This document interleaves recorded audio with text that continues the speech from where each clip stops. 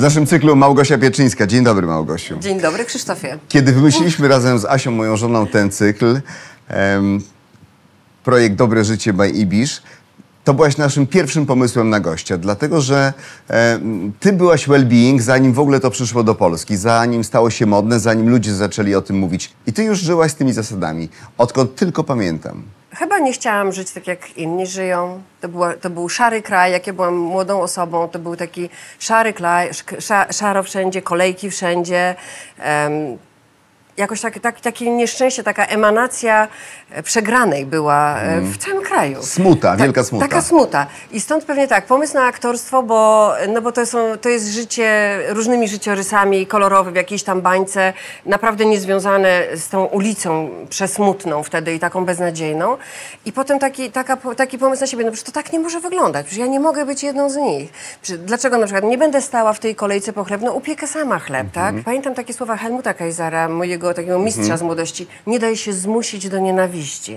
No to piękne. Naprawdę, po prostu zrób coś innego w swoim życiu. Tylko ochroń mnie, panie, od Tak. nienawiści, tak? O, tak, tak. To było takie koło ratunkowe dla ciebie. Tak. Ten well-being. Ja pamiętam jakieś, jakieś pomysły na przykład na diety, makrobiotyka. Przecież nie było Google'a, nie Też było... przez to przechodziłem. Ale słuchaj, to było niesamowite, przecież jakieś karteluszki były, ludzie sobie podawali, przekazywali jakieś takie pomysły, kaszę gryczaną prażyli, Tak. e, wiesz, no, po prostu jakieś pomysły, żeby było jakoś inaczej, żebyśmy się nie dali wpuścić w ten, w ten szary tłum. No właśnie i y, jednym z podstawowych takich czynników dobrego życia jest jednak pożywienie, jednym z.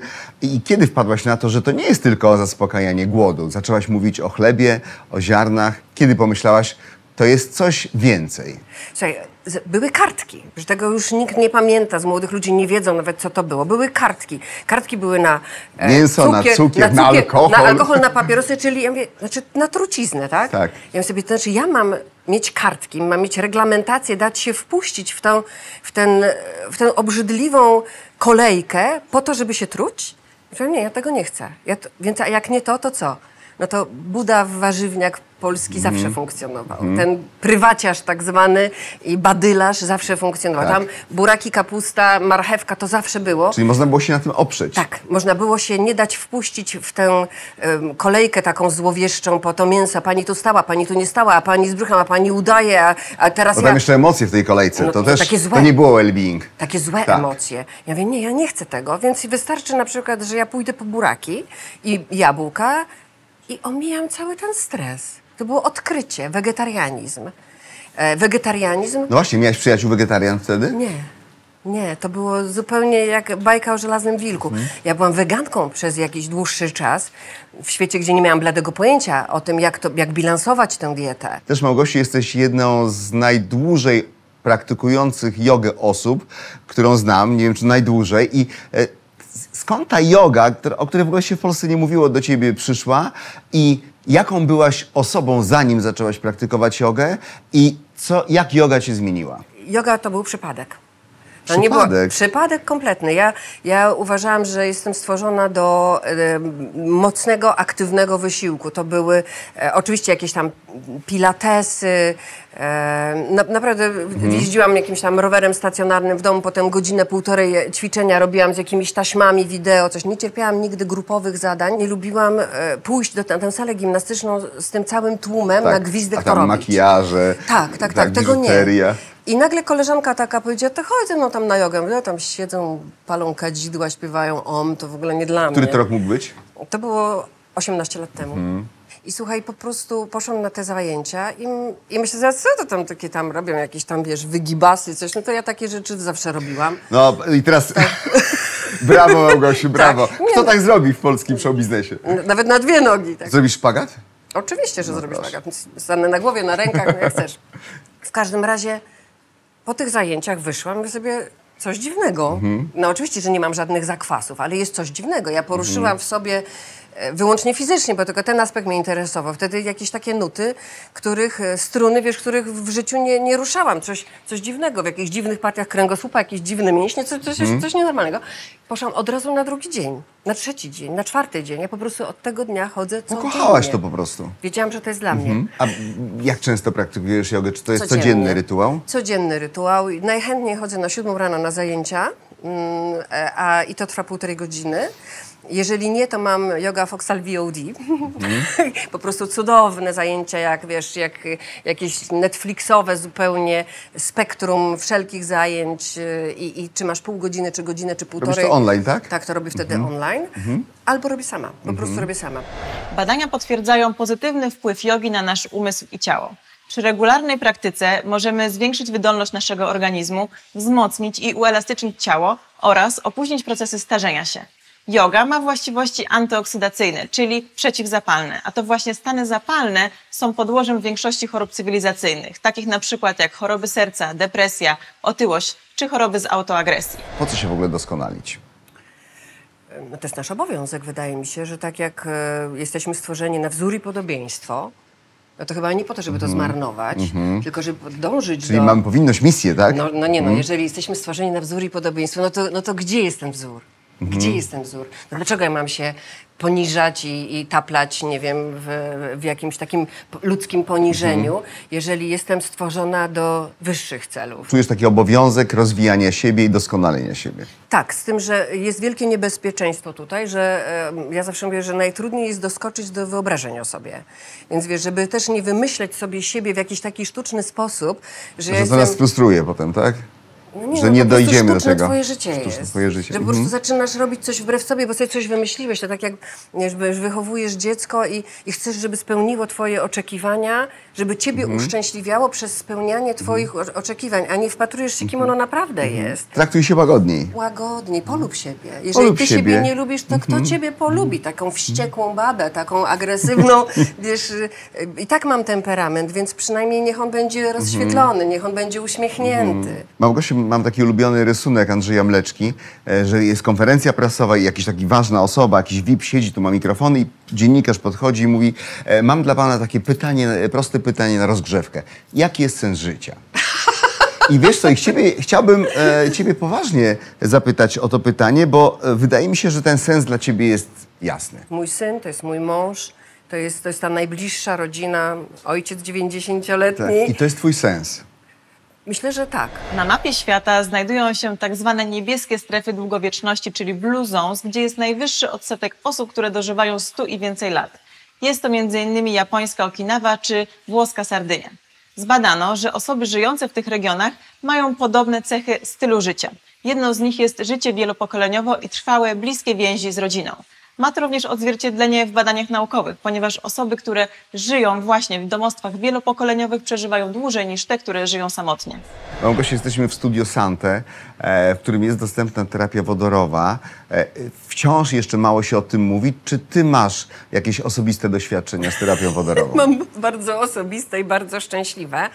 E, Wyobraź sobie, że mój 90-letni tata w zeszłym roku, zaszczepiony milion razy przeciwko COVID-owi na COVID, e, dostał COVID, a jednak, jednak się zaraził i miał bardzo poważne objawy.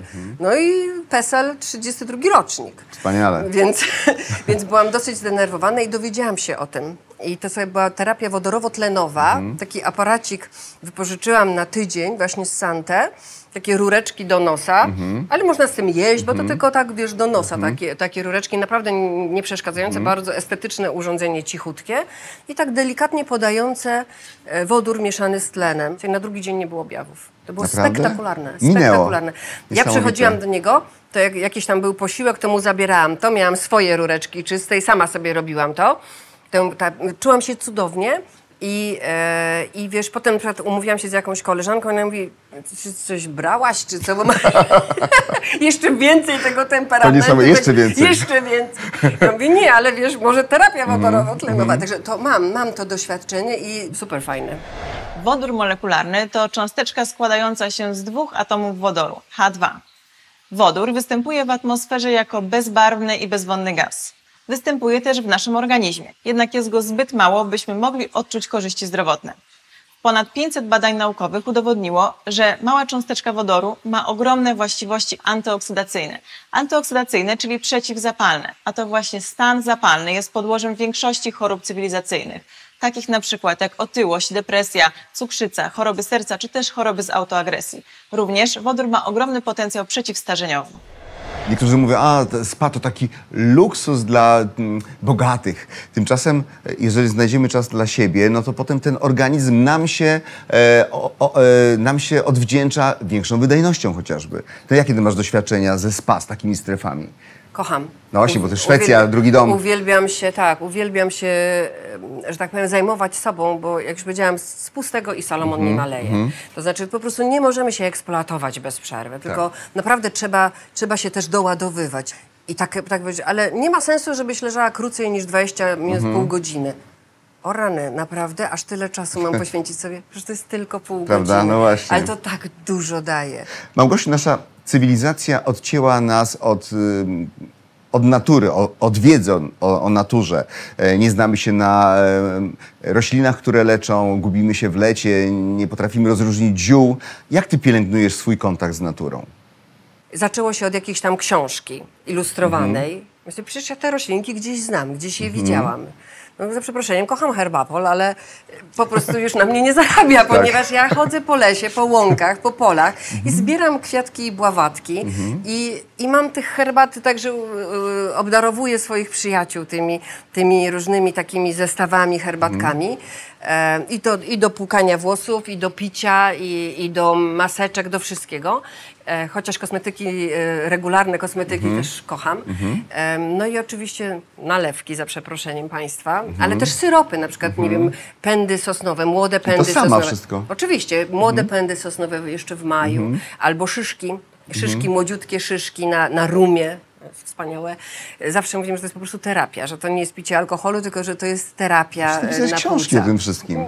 Słuchaj, książki już napisali. Że ja nie wiem, jak aktorki piszą książki, e, kiedy Takie zamiast tutoriale czytać. teraz Niech internetowe, czytają. jak poznać zioła, jak być w lesie, jak przebywać, jak, jak cieszyć się lasem. Powinieneś to wszystko to jest robić. genialne, bo zupełnie inaczej. To jest tak, jak idziesz na przykład do muzeum na jakąś tam wystawę. Powiedzmy symbolizm. Mhm. No idziesz jak bajka o żelaznym wilku, coś tam oglądasz. Ale poproś panią kurator, żeby cię Żeby cię oprowadziła i opowiedziała. żeby powiedziała ci, na co ty patrzysz. No właśnie. I po prostu nagle otwierasz oczy i jesteś w innym muzeum. Małgosiu, twoim drugim domem jest Szwecja. E, i jestem ciekawy, co my... Oni są bliżej natury, bliżej sportu, natury. Powiedz mi, co możemy od nich wziąć? Jakie wskazówki, jakie tipy mo można by przenieść na polski grunt, żeby Słuchaj, dobrze pierwsze, żyć? zlikwidować dubbing. Oczywiście masa kolegów straciłaby pracę. Tam nie ma dubbingu. Nie ma w ogóle dubbingu. Aha. Mhm. Tam są subtitles, tak? czyli masz napisy i już małe dzieci oglądając kreskówki albo oglądając jakieś tam filmy dla dzieci, Muszą czytać. No muszą, muszą Mhm. rozumieć. Po pierwsze słuchają po angielsku i już małe dzieci znają języki. To, co jest w Okej. Szwecji, że spotykasz panią na stacji benzynowej, pana szatniarza gdzieś tam, oni wszyscy mówią po angielsku. Oni wszyscy mówią po niemiecku. To jest coś nieprawdopodobnego. Mhm. A z well-being? A z well-being? Takiego dobrostanu, E, To pamiętam na przykład te e, wyjścia, te przedszkola bez, przedszkola bez siedziby. Czyli? No, dzieci są w lesie po prostu. Dzieci, rodzice odprowadzają dzieci. Szwedzi mówią, nie ma złej pogody, są najwyżej złe ubrania. Więc mają odpowiednie ubrania, mają takie wózki drewniane. Na tych wózach, wózka, wózkach drewnianych mają termosy z jedzeniem, z piciem, coś tam. E, no i dzieci spędzają cały dzień w lesie. I kochają e, narty biegówki, Tak. kochają to, wiesz, i to są sporty za darmo. I kemping. Kemping też, ale ja ci powiem, jakie to jest tanie. Że to jest w Polsce, każdy taki sport to są, e, wykupujesz te trasy, coś to jest, a oni mają masę takich sportów, na przykład biegówki. Mhm. Te trasy są przygotowane, one są oświetlone, przecież tam jest ciemno w zimie, tam jest bardzo ciemno, a w lesie te ścieżki są oświetlone. Mhm. Na przykład taką moją ulubioną trasą jest od, od Uppsali do Sztokholmu, że jedzie pociągiem do Uppsali Mhm. i 60 kilometrów się wraca na biegówkach pomiędzy wyspami, po jeziorach zamarzniętych, po, po, po prostu po zamarzniętej wodzie, jak po jakiejś autostradzie, pomiędzy wyspami, pod mostami jedzie się, spotykasz ludzi, Niektórzy widzisz, że mają te narty sprzed 30 lat, mają jakieś buty na jakieś paski skórzane, zaczepiane. Ale robią to. Tak, No właśnie, to jest za darmo, to, rozumiesz? tak. A tutaj, tutaj jest to zawsze jakieś takie, wydaje mi się, elitarne i wymaga jakiegoś takiego strasznego wysiłku. Tam to jest na co dzień. Co to jest dla ciebie to, co nazywamy dobrostanem, well-being? No to jest właśnie to, ta, takie poczucie, że się jest na miejscu. Najprościej e, w swoim poczuciu, że żyjesz e, w zdrowiu i bez bólu. To jest bardzo proste. E, I że ta osoba, w której oczy akurat patrzysz, to jest ta najważniejsza osoba. No ale i też widzieć, e, widzieć na przykład, nie wiem, rozwój dzieci. Jak To ja jest widzę, cudowne. Tak. To jest cudowne. Tak, ja zostałam babcią, wiesz. Gratulacje. Naprawdę. Jestem tatą. No, Od gratulacje. parunastu tygodni. To, I to, że on zaczyna mówić, patrzy, że za mną e, wodzi wzrokiem nagle. tygodni zaczyna mówić, gratuluję ci, Tak, to jest naprawdę. takie szczęście, słuchaj, że on wydaje dźwięki, coś. Małgosiu.